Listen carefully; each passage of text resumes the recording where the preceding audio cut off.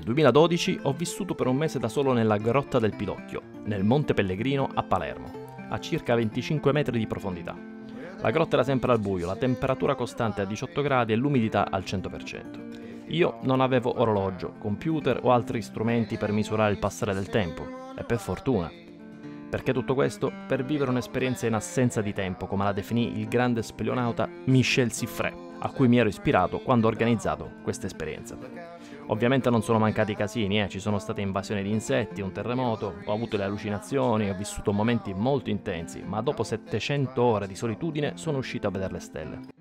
Ebbene sì, 700 ore in solitario all'interno della grotta del Pidocchio nel Monte Pellegrino a Palermo. Questa è la storia che vi racconterò oggi, una storia un po' particolare, lo ammetto, perché diciamo non, non sempre si sente parlare di persone che hanno vissuto nelle grotte, sebbene ci siano questi esempi nella storia. Questo è stato un po' il mio esperimento, esperimento narrativo, non tanto scientifico, che ho fatto appunto nel, nel 2012. Ve lo racconterò sia per quanto riguarda l'organizzazione, molto importante di questo esperimento, sia anche per appunto tutta la parte eh, psicologica di eh, come ho vissuto questa, questa, esperienza molto particolare, che per quanto non sia un'esperienza unica nella storia, comunque per me è stata mh, molto importante, molto formativa. Nel frattempo, se ancora non l'avete fatto, iscrivetevi al canale, mettete like al video, è un supporto che per me è molto importante, mi permette di continuare a creare contenuti di questo tipo e partiamo. Da dove nasce l'idea di vivere un mese in una grotta? Era il 2011, fine 2011, io facevo il volontario nel soccorso alpino e speleologico a Palermo. Quindi il mio lavoro era seguire in alcune operazioni il CNSS e documentare quello che succedeva. Cioè sono successe un po' di tutti i colori, è stata veramente un'esperienza formativa, anche perché questa qua è veramente gente super competente, super formata.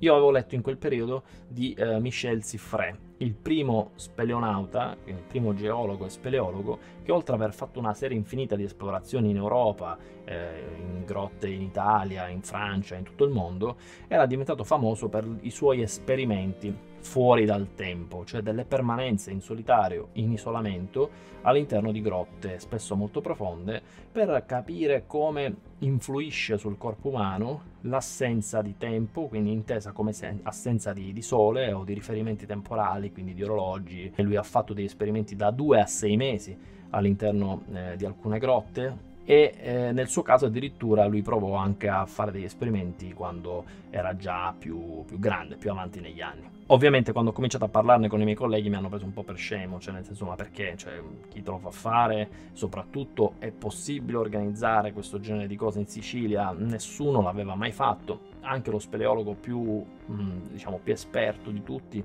non aveva passato più di qualche giorno sotto, sottoterra, magari in operazioni tra l'altro di soccorso o comunque con dei turni quindi c'era un po' di scetticismo nell'aria, ma trovai anche per fortuna delle persone molto entusiaste che decisero di supportarmi e quindi di capire intanto la fattibilità. Non era assolutamente da sottovalutare l'aspetto organizzativo, le autorizzazioni da chiedere, la scelta e la preparazione della grotta.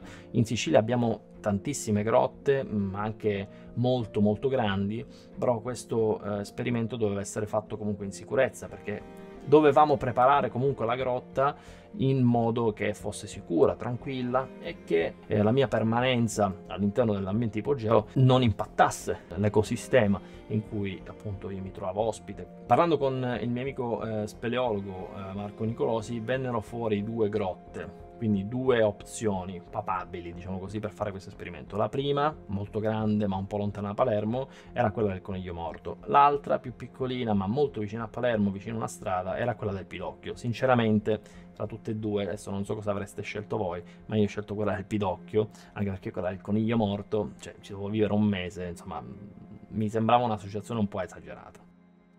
Rimaneva il fatto che io non avevo fatto ancora un corso di speleologia, non sapevo quanto tempo sarei dovuto rimanere sottoterra per dare un senso a questo esperimento e soprattutto non ero mai stato appunto in una grotta, soprattutto nella grotta del Pidocchio. Con Marco Nicolosi decidemmo quindi di fare un piccolo corso di uh, speleologia per me che mi mettesse in grado appunto di uh, essere autonomo, per esempio di calarmi all'interno uh, della grotta del Pidocchio e quindi andammo a vedere cosa è questa grotta del Pidocchio Vedente sono in una clessidra qua. Ma c'è modo che crolla qualcosa e rimane sotto per sempre? Tu no? sei su, noi siamo su un crollo. Va bene. Cioè vedi qua, questi qua c'è due di terreno, calpestabile. Ma è un crollo. Ma non è altro che una serie di massi incastrati. Mm, bene, mi fa piacere. Devo dire che l'ingresso nella grotta del Pidocchio fu non privo di, di dubbi per me, perché eh, l'area della grotta è veramente pesante, è un'area piena di umidità, un'area eh, molto umida, l'umidità al 100%, la temperatura è circa 18 gradi, è, tutto pieno di fango, è molto bagnato come ambiente e soprattutto la grotta del Pidocchio è una grotta che intimorisce abbastanza se non hai mai visto una perché è un pozzo, è una specie di clessidra da cui si accede da un buco molto piccolo, si entra appunto in questa clessidra, più o meno a 25 metri c'è un primo, uh, un primo salone, un primo campo calpestabile, poi uh, ci si può calare ulteriormente in fondo alla clessidra dove c'è un salone molto bello con delle concrezioni molto interessanti, ma presenta delle sacche di CO2, quindi uh, non è un posto in cui si può organizzare il campo. Invece il salone intermedio era un bel posto per organizzare il campo, diciamo bello, comunque si poteva così pensare di prepararlo in maniera tale che fosse vivibile e asciutto, tra virgolette, per il tempo che eh, mi serviva. Parlando con altri speleologi venne fuori che il tempo minimo per fare un'esper- un'esperienza fuori dal tempo avrebbe dovuto essere almeno di un mese. Scelsi quindi di stare nella grotta del Pidocchio e di starci per un mese. La preparazione del campo ovviamente non fu facile. Ho dovuto ovviamente coinvolgere altri speleologi, altre persone, ho dovuto trovare qualche soldo per comprare attrezzatura perché il campo andava comunque preparato, non potevo vivere semplicemente nel fango per un mese, no? dovevo crearmi un piccolo, una piccola zona abitabile, non impattare la grotta eh, con eh, per esempio accendendo fuochi oppure lasciando i miei escrementi all'interno della grotta, quindi doveva essere organizzata anche una latrina, un sistema di rifiuti, comunque da sigillare, da impacchettare. E di conseguenza bisognava anche mettere in sicurezza la grotta, perché ehm, essendoci un altro pozzo poco sotto quello che appunto era il mio accampamento, io non mi dovevo trovare nelle condizioni di brancolare nel buio a un certo punto, magari la notte o andando in bagno o quello che fosse, eh, magari cadere nel pozzo sottostante e quindi sfracellarmi al suolo. L'idea fu quindi di chiudere la zona in cui abitavo con delle reti da pollo, praticamente da, po- da, po- da pollaio, non da pollo, mettere un telo, eh, un tarp, un telo di plastica sopra il campo, in maniera tale che insomma eh, avrei avuto quantomeno una protezione dalle gocce dello stilicido della grotta, quindi non mi sarei bagnato più di tanto. La cosa fondamentale fu mettere per terra una specie di, eh, di tappeto di plastica che era appoggiato su, delle, eh, su dei tavolacci di legno e su una rete di, da polli anche lì per rendere calpestabile e asciutto il, il, la mia porzione di campo dove vivevo, che era comunque molto piccola, erano più o meno 6 metri quadrati. Tutto fu fatto e preparato in modo abbastanza anche improvvisato, ma sempre diciamo col cervello. Rimaneva un problema fondamentale che era quello della comunicazione. Era un esperimento ovviamente di isolamento, però anche Michel Siffre aveva dei collegamenti telefonici, per esempio con la superficie, per dare tutta una serie di informazioni sul suo stato eh, psicologico, nel, anche nel caso di emergenze varie che potevano essere anche degli incidenti, dei ferimenti. Io avrei fatto la stessa cosa perché ero all'interno di un parco comunque ed ero supervisionato da, um, da un ente che era appunto il soccorso alpino speleologico. Quindi decidemmo di installare una radio all'interno della, del campo per fare dei check randomici senza riferimenti temporali precisi con me che ero all'interno della grotta. Io avrei potuto usare la radio soprattutto, anzi unicamente, quando uh, ci fosse stata un'emergenza o se avessi deciso di sospendere l'esperimento. Era quindi il momento di creare un team che eh, mi avrebbe dato appunto una supervisione anche da un punto di vista proprio della, diciamo, della mia persona, quindi non solo dall'aspetto tecnico, non solo dall'aspetto legato alla grotta, ma anche quello relativo alla mia salute. Quindi fu coinvolto eh, il dottore Napoli del soccorso alpino e speleologico per farmi tutta una serie di test fisici, una serie di esami prima di entrare in grotta, fu coinvolto eh, un mio grande amico Martino Locascio, regista e psicologo, che non solo mi aiutò nella formazione psicologica prima di entrare in grotta, ma avrebbe firmato poi come Geologia di un sogno, che è un po' questo esperimento narrativo, questo cortometraggio molto introspettivo, che vi lascio ovviamente qua in descrizione Martino mi disse non entrare nella grotta se non ti senti pulito. Pulito ovviamente intendeva di testa, perché è un'esperienza in cui molto probabilmente, data l'assenza di azione di input, il cervello si creerà un mondo a parte, si creerà un mondo che non esiste, si crea delle proiezioni, si crea a lui degli input. Ovviamente avevo anche un esperto, un, diciamo, un amico che mi avrebbe controllato un punto di vista dell'alimentazione, Walter Gregorio, che mi avrebbe appunto eh, dato tutta una serie di alimenti che potevo utilizzare e anche conservare all'interno della grotta, perché la conservazione delle, degli alimenti per un mese ovviamente non è, eh, non è banale, e, e, ci sarebbe stato anche appunto un personal trainer che era eh, Lorenzo Padalino, che invece mi ha dato degli esercizi, proprio degli allenamenti da fare durante il giorno perché io comunque dovevo rimanere in forma, non potevo farmi trovare dopo un mese ridotto una larva, ecco. Il campo era pronto, la grotta era messa in sicurezza, furono installate all'ultimo due batterie per permettermi anche di poter avere due lucine no, all'interno della grotta perché in oscurità totale probabilmente magari sarei diventato anche daltonico dopo, uh, dopo un mese di oscurità totale, comunque avrei avuto problemi alla vista una volta fuori e partì l'esperimento. Io entrai nella grotta del Pidocchio la sera del 25 marzo, mi calai nella grotta, mi preparai il campo e andai a dormire. La prima notte fu un mezzo incubo perché l'aria era molto pesante, non riuscivo a respirare bene e avevo problemi di, problemi di ansia anche perché era la prima notte, ho detto se devo farne 30 così non ce la farò mai. È stato un momento molto eh, diciamo, molto forte. C'è l'inserimento all'interno di un ambiente mm, che si conosci perché ci si sta dentro un paio di volte, però è comunque un ambiente totalmente nuovo. La sfida era di creare dell'azione durante il giorno impedendo che la testa andasse troppo alla deriva. La giornata comunque cominciava sempre con una sveglia, io mi svegliavo, dormivo più o meno quanto volevo, quindi facevo la mia colazione, poi mi davo una pulita al campo, mettevo a posto la brandina, che era smontabile perché non c'era spazio nel campo per tenerla montata tutto il tempo, e, e poi soprattutto non dormivo più fino alla mia sera, bisognava tenere comunque la testa occupata, avevo dei libri, avevo una, una chitarra che strimpellavo ogni tanto per sentire qualcosa di diverso dalle gocce che cadevano sul mio tarp. E mi ricordo che piano piano, già dal primo giorno, cominciai a percepire un po' meglio, a capire un po' meglio l'ambiente in cui mi trovavo. Innanzitutto con la mia torcia e con la mia frontale cominciai a guardarmi in giro perché sì, la grotta più o meno l'avevo vista, ma non l'avevo vista bene, almeno il mio campo, no? quello sotto in realtà non l'ho mai visto, quello più profondo, perché non sono mai sceso fin lì e mi sarebbe piaciuto, ma non, non ho mai avuto né il tempo né diciamo così la, la voglia di, di, di, andare lì e soprattutto non potevo farlo quando ero da solo, perché non mi potevo calare autonomamente, andare un po' di sotto.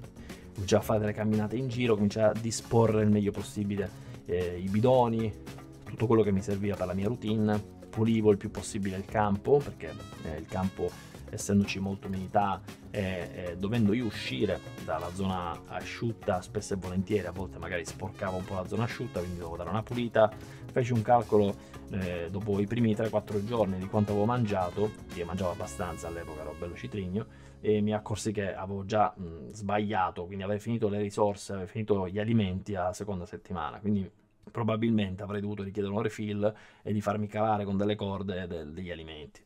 Sin dalla prima notte io sognai di essere in grotta, disteso sulla mia brandina, spesso e volentieri io sognavo di essere in grotta, quasi tutte le notti, e eh, di vedere della luce che entrava nel pozzo, la luce del sole, che entrava nel pozzo, invadeva tutto il mio campo, e, e mi sembrava una cosa da un lato bellissima, dall'altro molto strana, perché dicevo, ma com'è possibile? C'è tutto questo sole qua dentro, cioè la grotta è praticamente al buio, no?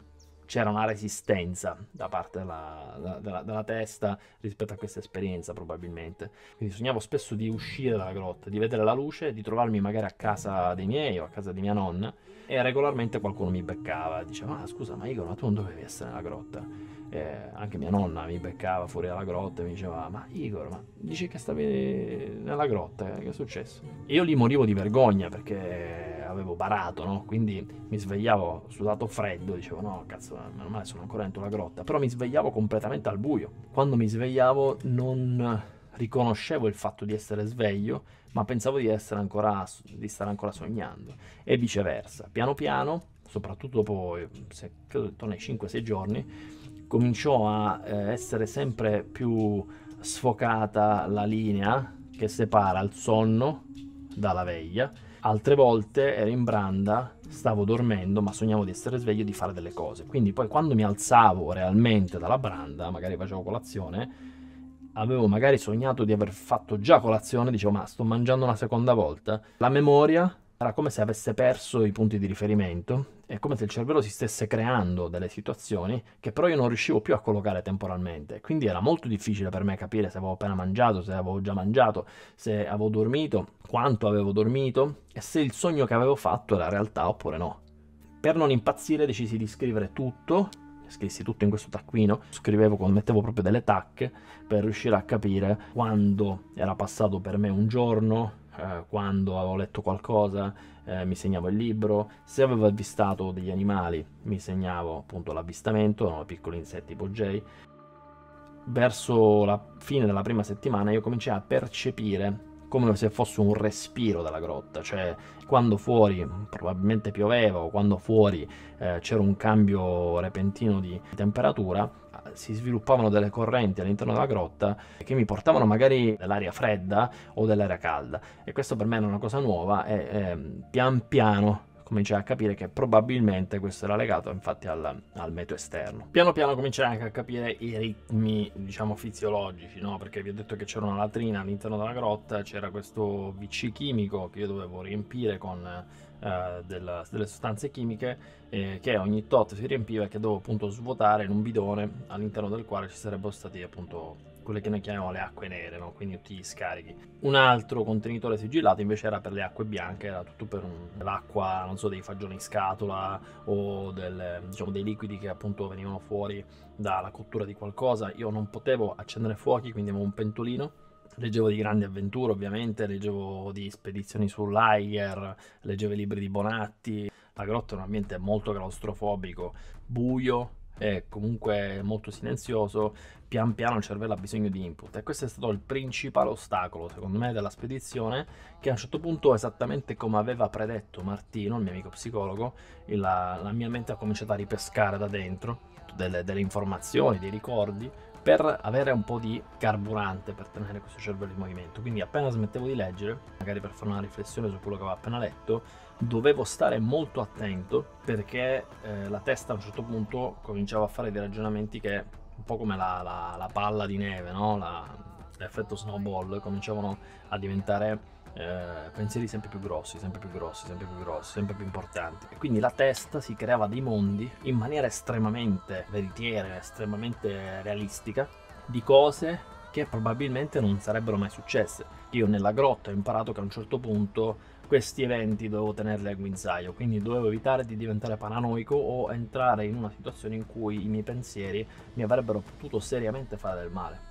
In generale, nella solitudine, nel wilderness, nell'isolamento, risolvi un problema alla volta, cerchi di avere la visione globale del tutto, ma cerchi di evitare che i pensieri creino dei problemi su problemi su problemi che messi poi tutti insieme diventano, eh, almeno a livello percettivo, insormontabili a un certo punto decisi di interrompere volontariamente i miei pensieri, quindi di riportare la concentrazione su qualcosa eh, da fare, che poteva essere continuare a leggere, che poteva essere pulire il campo, che poteva essere farmi da mangiare, io dovevo essere costantemente impegnato a fare qualcosa. Ovviamente il periodo più vulnerabile era il momento del sonno, un momento molto sfocato, in cui la memoria si intrecciava eventi che erano successi quel giorno quindi che tecnicamente avevo appena vissuto, con eventi che erano già successi due o tre giorni prima, con eventi che potevano succedere nei, nei giorni dopo. Vi sembra assurdo, ma una delle condizioni, una delle cose più eh, che mi hanno salvato, devo dire, all'interno della grotta è stata leggere le barzellette di Totti. Adesso so che può sembrare stupido, e non ho mai riso per cose così, tra virgolette, stupide nella mia vita, come quando ero in grotta. Cioè a un certo punto non riuscivo proprio a fermarmi, quindi grazie Totti per questa possibilità, grazie per aver pubblicato le barzellette. Cioè sono alcune talmente stupide, io dice, minchia, ma com'è possibile? Eppure, improvvisamente però cominciarono i casini, perché verso la fine della prima settimana, se non ricordo male, e io non so perché è successa questa cosa, cominciano ad arrivare dei mosconi li sentivo da lontano perché pian piano la mia percezione, il mio udito migliorava e diventava sempre più sensibile, li sentivo ronzare da lontano e piano piano scendevano all'interno del pozzo, all'interno della grotta. Prima uno, poi due, poi tre. Si infilavano all'interno della grotta e fondamentalmente venivano a morire nella grotta, quindi non c'era neanche diciamo, una logica no, a questa cosa qua, se non che fossero stati attratti dalla grotta o risucchiati dentro, o non riuscivano più a tornare su l'unica luce che trovavano ero io, era la mia frontale. E quindi se stavo mangiando, se stavo leggendo, questi mosconi, prima o poi, avrebbero puntato la luce della mia frontale e mi avrebbero sbattuto nella faccia perché pensavano di uscire dalla grotta, probabilmente scambiavano la mia frontale con il foro di uscita dalla grotta. Io mi trovai, insomma, come gli ignavi, praticamente la Dina Commedia tempestato a Mosconi, in un ambiente in cui lo stress era già abbastanza forte e partì questa lotta da ninja contro i Mosconi e ricordo che a un certo punto io li beccavo anche al buio, cioè ero diventato talmente bravo che io li attiravo con la lampadina poi spegnevo la lampadina, pam, attaccavo il moscone, pam, lo prendevo al volo, lo schizzavo da qualche parte e se ne andava a morire male da qualche parte. Mi spiace per il moscone, ma per me la sopravvivenza. E una mattina, mentre ero in branda, improvvisamente arrivò un boato. Come un'onda d'urto che arrivò e colpì il mio campo. E io ero in branda, ero in quel momento vulnerabile di cui vi ho parlato, in cui non sai se hai sognato una cosa o se è vera poi mi alzai, cambiai le batterie della mia frontale perché ho detto qua è successo qualche cosa, cioè potrebbe essere un terremoto. Arrivò una comunicazione via radio. Mi segnalarono quindi che poco poco prima c'era stato un terremoto a largo di Ustica che uh, è stato anche abbastanza forte, percepito abbastanza chiaramente in città, infatti avevano evacuato delle scuole. La scuola di mia madre, dove mia madre insegnava, mia madre insegnante, era stata evacuata infatti e quindi questa cosa mi mise molta ansia perché ho detto, eh, speriamo stiano tutti bene. In realtà io mi sentivo abbastanza sicuro perché ero circondato da chilometri di roccia. Nell'immaginario collettivo io ero estremamente vulnerabile in quella situazione di terremoto e probabilmente ero rimasto murato vivo. Infatti il soccorso alpino per dovere ovviamente per questioni di sicurezza, organizzò un'ispezione intanto nell'antro della, della grotta, quindi eh, diciamo così l'anticamera al pozzo che era la zona più vicina alla strada, verificarono che non ci fossero stati dei crolli o dei distacchi, mi chiesero a distanza se avessi visto qualche crepa nelle rocce, lì in realtà io stavo entrando nel vivo dell'esperienza, perché a un certo punto cominciai anche a capire come la grotta stava piano piano prendendo possesso anche del mio campo, almeno questa era la mia, la mia percezione, io mi sentivo sempre più parte dell'ambiente ipogeo, cominciavo a sentire tra l'altro di rumori che prima non sentivo. Stavo entrando in quello che è il cosiddetto stato di grazia, essere assorbito dall'ambiente in cui ci si trova e pian piano diventarne completamente parte.